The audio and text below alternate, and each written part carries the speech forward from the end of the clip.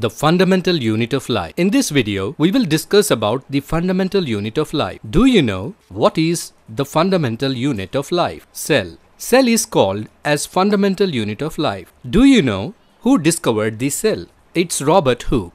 In 1665, Robert Hooke observed a thin slice of cork under his own microscope. He found small box-like structures. They were like small rooms of a honeycomb. Robert Hooke called these boxes as cells. The meaning of word cell is small room. Cells are the building blocks of living things. All living things are made up of cells. Certain organisms are made up of only one cell. Such organisms are called unicellular organisms. Uni means single. Examples of unicellular organism is amoeba, chlamydomonas, paramecium, and bacteria. Some organisms are made up of many cells. Such organisms are called multicellular organisms. All multicellular organisms are developed from a single cell. Cells produce cells of their own kind by cell division. All cells come from the pre-existing cells. Do you think the whole multicellular organism is made up of single type of cells? No, multicellular organisms are made up of different types of cells. Now, let us see different type of cells of our body. Muscle cells, blood cells, nerve cells, bone cell, ovum, sperm cell, fat cell. Why these cells are in different sizes and shapes? The shape and size of these cells depends on the function they perform. You know that in our body, we have different systems to perform different tasks. For example, heart pumps blood, liver secretes digestive juices, kidneys filter the blood, brain controls the body. This means that in our body, different jobs are done by different parts. We call this as division of labor. In this way, we will see division of labor inside a cell also. Cell is very small, still it has so many parts in it.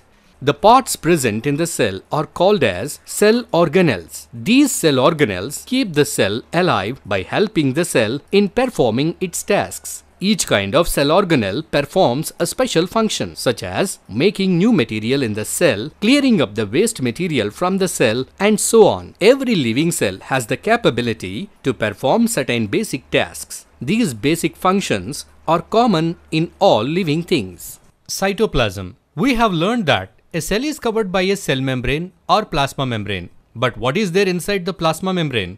The space inside the plasma membrane of a cell is filled by a semi-transparent fluid. This semi-transparent jelly-like material is called cytoplasm. What does the cytoplasm consists of? Cytoplasm consists of water, minerals and enzymes and some organelles. It is the place where many biochemical reactions takes place. There are so many organelles floating in the cytoplasm. Let us look at these cell organelles. This is smooth endoplasmic reticulum, rough endoplasmic reticulum, Golgi apparatus, lysosomes, mitochondria, and vacuoles. Each of these organelle performs a specific function. Let's see the short details of each cell organelle. Rough endoplasmic reticulum. This is called protein factory because it makes new proteins. Smooth endoplasmic reticulum. This is called fat factory because it makes new fats. Golgi bodies. It's called dispatch center because it handles the packaging and distribution of materials that are prepared by endoplasmic reticulum. Mitochondria. It is called powerhouse of the cell because it produces energy from glucose. Vacuoles. They are called storage bags. They store different materials. Lysosomes. They are called suicide bags because they contain the digestive enzymes and they digest the foreign materials like bacteria and damaged cells. There are some special cell organelles that are only found in plant cells.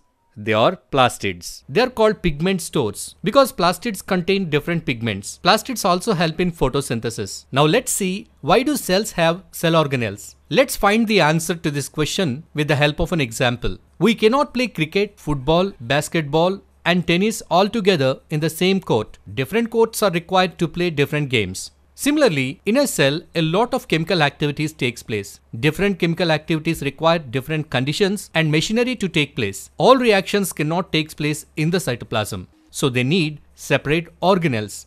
To keep these chemical activities separate from each other, cells use membrane-bound organelles. These organelles are called cell organelles. Can we see these cell organelles under a compound microscope? No. We cannot see the cell organelles under a compound microscope, but cell organelles can be seen under an electron microscope. The internal structure of cell. If we observe a cell under a compound microscope, we will find three important parts in it. They are plasma membrane, nucleus and cytoplasm.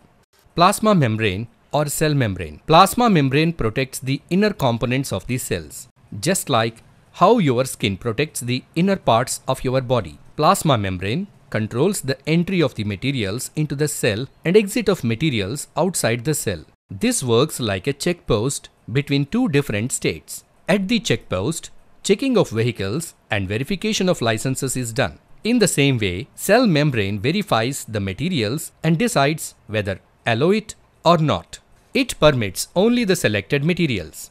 For this reason, cell membrane is called selectively permeable membrane. Now, let us see the exchange of materials between cell and its surroundings. The exchange of gases takes place between the cell and its surroundings and this happens by diffusion. Do you know what is diffusion? The movement of gas molecules from a high concentration area to low concentration area is called diffusion. Here we can see the concentration of oxygen outside the cell is high compared to its concentration inside the cell. So, the oxygen molecules enter the cell through the plasma membrane. This process is called diffusion. There is one more phenomenon through which the exchange of water takes place between the cell and its surroundings. It is osmosis. The movement of molecules through a selectively permeable membrane is called osmosis. The movement of water molecules from a place of high concentration to a place of low concentration through a semi-permeable membrane is called osmosis. But how the other materials enter the cell? For the transfer of other materials into the cell, energy is required. This kind of transport is called active transport. Now let us see the composition of the plasma membrane. Can we see the structure of plasma membrane through a compound microscope? No. The structure of plasma membrane can be seen only through an electron microscope. Plasma membrane is made up of carbon compounds like lipids and proteins. Organisms like amoeba engulf the food materials through their cell membrane. This process is called endocytosis. In the next video, we will learn about the cell wall and nucleus. Cell wall and nucleus. Both plant and animal cells have cell membrane, but plant cells have one more outer rigid cover called cell wall. Do you know with which material the cell wall is made up of. The plant cell wall is made up of cellulose. Cellulose gives strength to the plant cells. Sometimes plant cells undergo plasmolysis. Do you know what is plasmolysis? The water present in a living plant cell is lost through osmosis and then the contents of the cell shrink away from the cell wall. This phenomenon is known as plasmolysis. Nucleus now let us look at the structure of nucleus. The nucleus is covered by a nuclear membrane. This nuclear membrane has two layers. The nuclear membrane also has pores. Materials enter and exit the nucleus through these pores. The nucleus has chromatin. Do you know how the chromatin looks like? It just looks like a tangled thread but it changes into rod-like structures called chromosomes during cell division. Chromosomes contain DNA and protein. Let us look at an example to understand the functioning of chromosomes. Your phone has software to control its functioning. In the same way, every cell has DNA to control their functioning. Our phones have different apps to execute different tasks. In the same way, DNA has different genes to execute different tasks. Functional segments of DNA are called genes. Do all cells have a distinct nucleus? No. In certain single-celled organisms like bacteria, the nuclear membrane is absent. The nuclear region is undefined and contains only nucleic acids. Such type of nucleus is called nucleoid. The organisms whose cells lack a nuclear membrane are called prokaryotes. Pro means primitive or primary. Karyote means nucleus. Then what are the cells with a clear nucleus called? eukaryotic cells. Are there any other differences between prokaryotic and eukaryotic organisms? In prokaryotes, beside the absence of nuclear membrane, the membrane-bound organelles are also absent. On the other hand, the eukaryotic cells have a nuclear membrane as well as membrane-enclosed organelles. So by this, we understand that prokaryotic organisms have poorly organized cell organelles compared to eukaryotic organisms. Endoplasmic reticulum First let us locate the endoplasmic reticulum inside the cell. Yes, this is endoplasmic reticulum. We can see that it is located around the nucleus. This looks like a network of tubes and sheets. It is made up of some special membrane. This membrane of endoplasmic reticulum is similar in structure with the plasma membrane.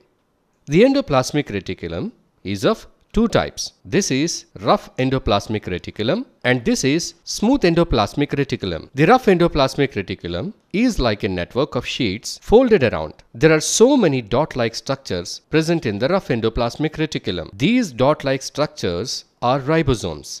Under the microscope, the endoplasmic reticulum with ribosomes has a rough appearance. So that's why endoplasmic reticulum with ribosomes is called rough endoplasmic reticulum. Now let's see the function of rough endoplasmic reticulum. Rough endoplasmic reticulum makes new protein molecules with the help of ribosomes. That's why rough endoplasmic reticulum is also called as protein factory. Then what is the function of smooth endoplasmic reticulum? Smooth endoplasmic reticulum manufactures new fat molecules. What happens to the new proteins and lipid molecules made in the endoplasmic reticulum. These proteins and fats are used by cell in different ways. These materials are used to make cell membrane. We know that cell membrane is made up of proteins and lipids. So, for the formation of new cell membrane during cell division, these materials are required. Some proteins and fats are converted to enzymes and hormones and are secreted out of the cell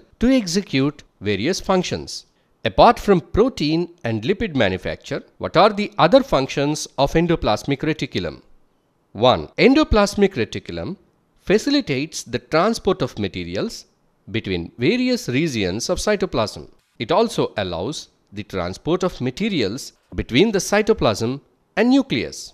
2. It provides surface for many important biochemical reactions to take place. 3. In vertebrates, smooth endoplasmic reticulum plays an important role in detoxifying the toxins and drugs. So these are the structural features and functions of endoplasmic reticulum. Golgi apparatus. This is Golgi apparatus. Let us observe its structure. It looks like flattened bags or vesicles. These vesicles are arranged parallel to each other and form stacks called as cisterns. Now, let us see the functions of this Golgi apparatus. In a factory, the machines that manufacture the item and the machines that pack the item are different. Once the items are made, then they are sent for packing and dispatch. In the same way, in our cells, protein molecules are manufactured in the endoplasmic reticulum and then they are sent to the Golgi apparatus for modification and for packing and dispatch. The proteins that are modified by the endoplasmic reticulum are modified, stored and when needed they are packed and dispatched in the form of vesicles. Golgi apparatus performs three important functions. 1. Storage of materials. 2. Modification of materials. 3. Packaging and dispatch of materials. The Golgi apparatus gathers simple molecules and combine them to make more complex molecules. Then it take the big molecules and pack them in vesicles. It may store these vesicles for later use or dispatch them. These vesicles are delivered inside the cell to different cell organelle or sometimes these vesicles are delivered outside the cell to the target location. The lysosomes are also prepared in this Golgi apparatus. Since these cell organelles were discovered by Camillo Golgi, these cell organelles are called as Golgi apparatus. Lysosomes and mitochondria. First, let us look at lysosomes in the cell. These are lysosomes. Let us see the structure and functions of lysosomes. Lysosomes are sac-like organelles. Lysosomes are covered by a membrane outside and filled by a fluid inside. This fluid contains digestive enzymes. Now let us see the functions of lysosomes. Their main function is to clean the waste and unwanted materials inside the cell. They work as a waste disposal system of the cells. What kind of waste materials are found inside the cell? Sometimes a bacteria or virus or some undigested food particle enters the cell. This is considered as a waste and it has to be removed. Sometimes the parts of the cell are damaged or worn out. These parts are also considered as a waste or unwanted material. These kind of materials are cleared by lysosomes. Sometimes if a cell is damaged, the cellular components try to repair it like proteins and fats from endoplasmic reticulum they are diverted to repair the cell. But if the damage is beyond the repair, then lysosomes help the cell to self-destruct. Lysosomes burst and the digestive enzymes present in them, they will digest the components of the cell. That is why lysosomes are called as suicide bags. Mitochondria. These are mitochondria.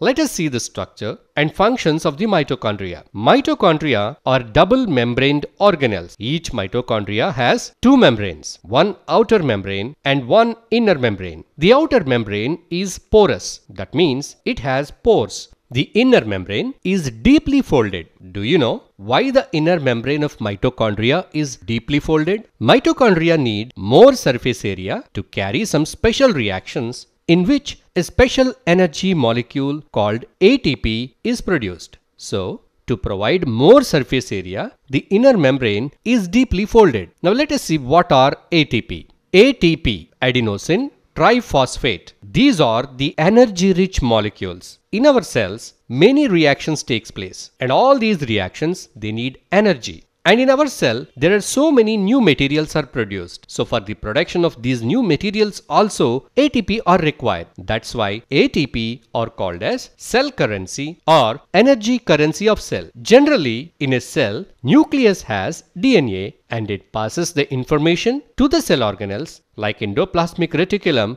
to make proteins necessary for cellular activities. That means all the cell organelles, they follow the instructions of the nucleus. But here, in case of mitochondria, it is a bit different. Mitochondria, they have their own DNA and ribosomes. So, they can manufacture some of their own proteins. That's why mitochondria are sometimes called as strange organelles. This is all about lysosomes and mitochondria, plastids and vacuoles. Let us see the structure and functions of plastids. These are the cell organelles that are found only in plant cells. Plastids are of two types. 1. Chromoplasts 2. Leucoplasts First we see about chromoplasts.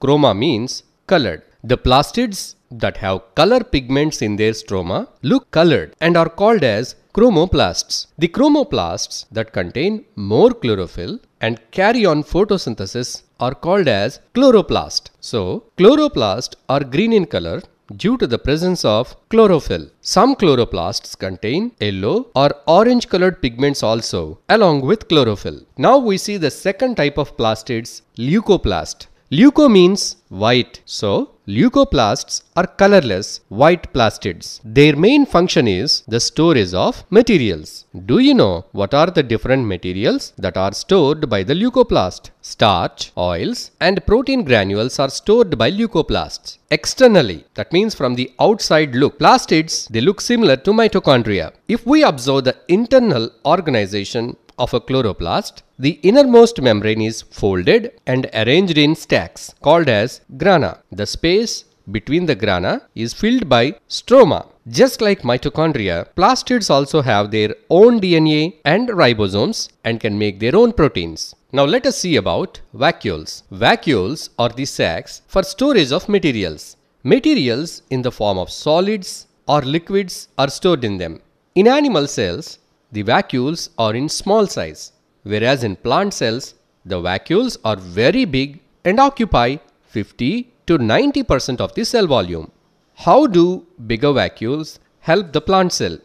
The vacuoles in the plant cell are filled with cell sap and provide turgidity and rigidity to the cell. They store many important materials like sugars, amino acids and various organic acids and some proteins. In unicellular organisms also, vacuoles perform some important function. In organisms like amoeba, the food enters the food vacuoles where it is digested and absorbed. In the same way, contractile vacuoles are formed to collect and excrete the excess water and waste materials. So this is all about plastids and vacuoles. Cell division. We know that living things grow and reproduce. Growth means adding new cells to the body. These new cells, they come from the cell division. To reproduce, organisms need to produce new reproductive cells or sex cells. These cells are also produced by cell division. Sometimes our cells may get damaged. To replace the damaged cells, new cells are required. These cells are formed by cell division. So, cell division is important for the formation of new cells for growth, repair and reproduction. Now let us see the different types of cell division. What are the two different types of cell division? There are two different types of cell division that is 1 mitosis, 2 meiosis. First let us see mitosis. Most of these cells are divided by this mitosis. This kind of cell division helps in the growth and repair of body. For example, a boy grows into a man. For this, his bones and muscles are to be grown.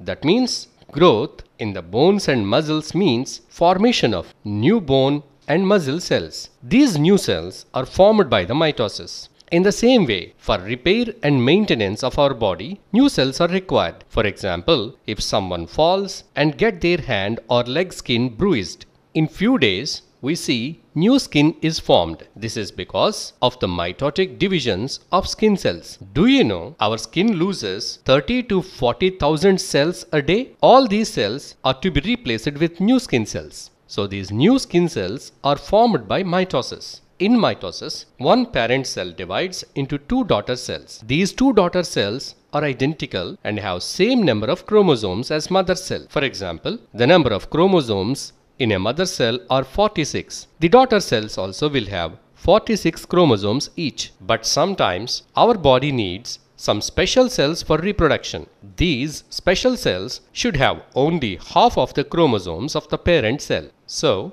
to achieve this, our reproductive cells are produced by a special method of cell division called as meiosis. The main purpose of meiotic division is to produce reproductive cells or gametes. Now let us see how this is different from mitosis. In this meiotic division, first the parent cell divides into two daughter cells that have the same number of chromosomes as their parent. That means if the parent has 46 chromosomes, then the daughter cells also have 46 chromosomes. But this is not the end of meiotic division. These two daughter cells, they divide further and produces four daughter cells. These daughter cells will have half of the chromosomes as compared to the mother cell. That means if the mother cell has 46 chromosomes, finally the daughter cells have 23 chromosomes each. So in meiotic division, the number of chromosomes reduces to half. The sperm cells formed in the testis of males and egg cells formed in the ovary of females are formed by meiotic divisions.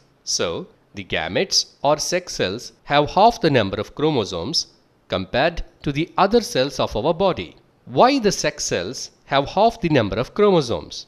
This is because during fertilization, a male gamete with 23 chromosomes fuses with a female gamete with 23 chromosomes and forms a zygote with 23 pairs of chromosomes. That means 46 chromosomes. This zygote further divides by mitosis and develops into a baby. Thanks for watching. Please like the video. Please share this video with your friends. Please subscribe to Grade Booster channel. Press the bell icon to get all the latest updates. Check the description to find links of other useful videos. Check the end screens for our new videos.